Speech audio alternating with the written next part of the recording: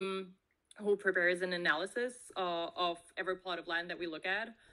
Mm, and we, you know, we choose primarily, we choose locations that are um, safe, like geographically, like no tsunamis, no earthquakes, stuff like that. I mean, obviously they can they can always happen, right? They happen in Portugal, they happen here in the Czech Republic as well.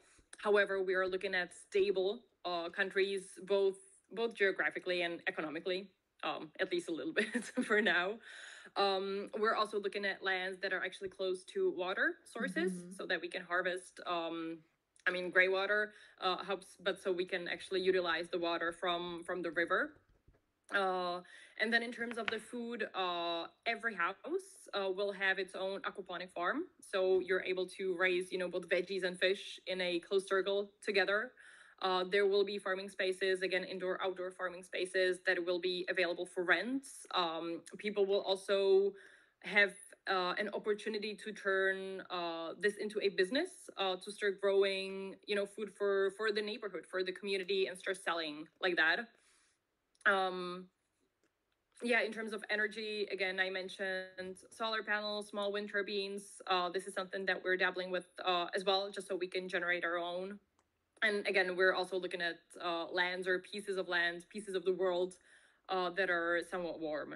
So we're not looking at any, you know, colder climates uh, just because of the comfort and just because of the, just because of the well comfort, um, you know, altogether.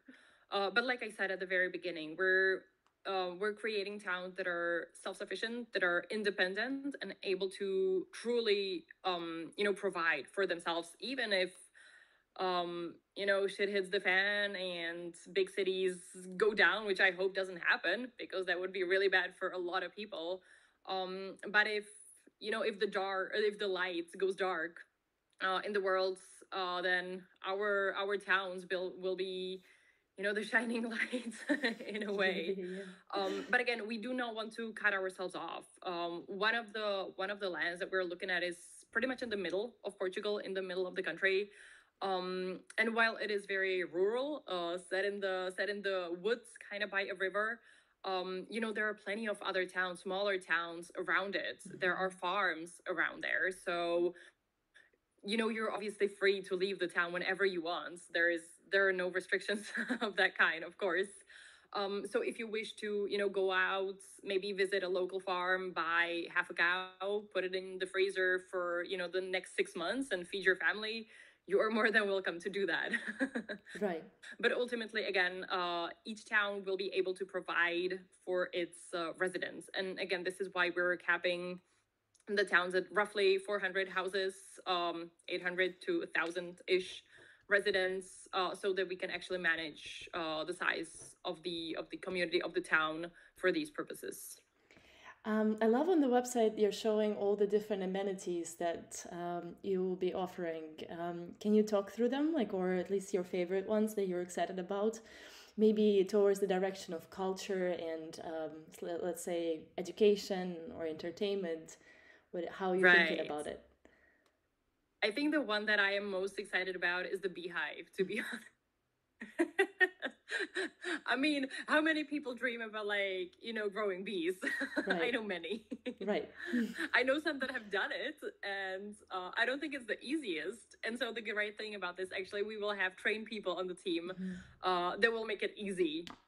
But these are pretty like high techy uh, beehives. They shouldn't be too difficult to operate, and everybody will be able to do it. So the beehive is something that resonates with me very much.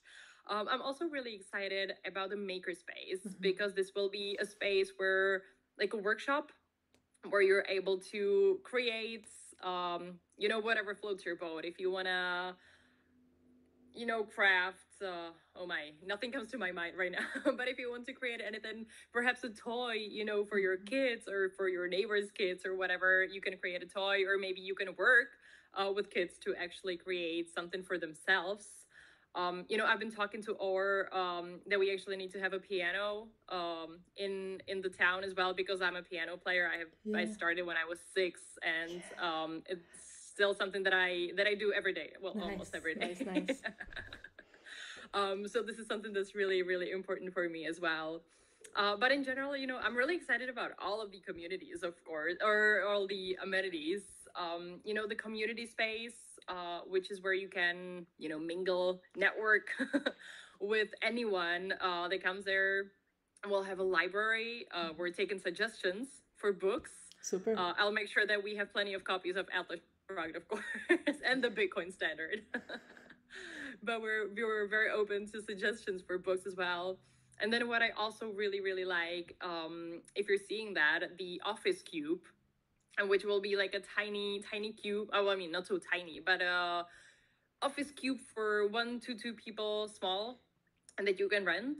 Uh, and it's literally set you know pretty much in the middle of the woods so in complete privacy you'll be surrounded by the sounds of the forest you know by the sunlight by the fresh air my goodness it's just it's i love it already.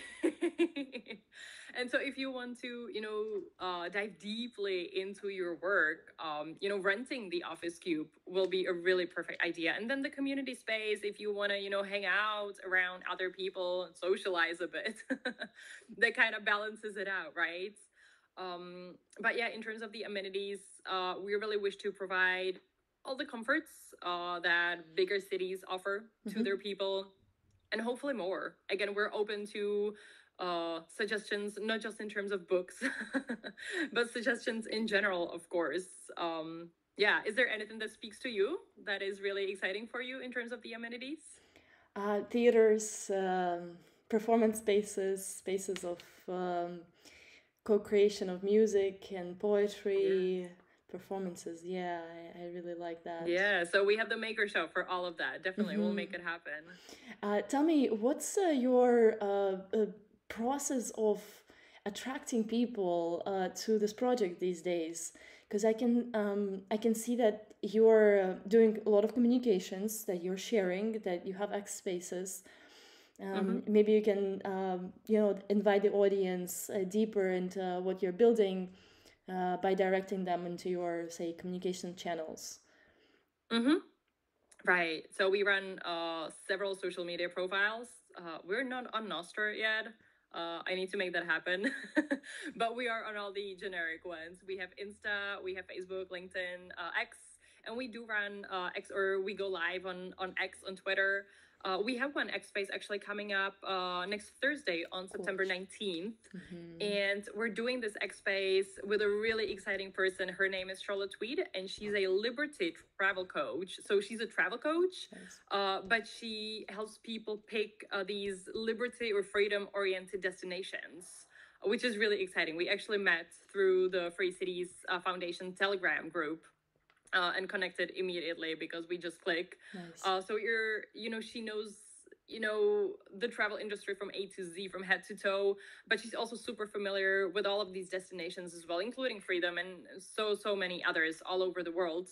Uh, so I highly recommend listening uh, if you're interested. Next Thursday, um, we utilize social media for our communication, of course, for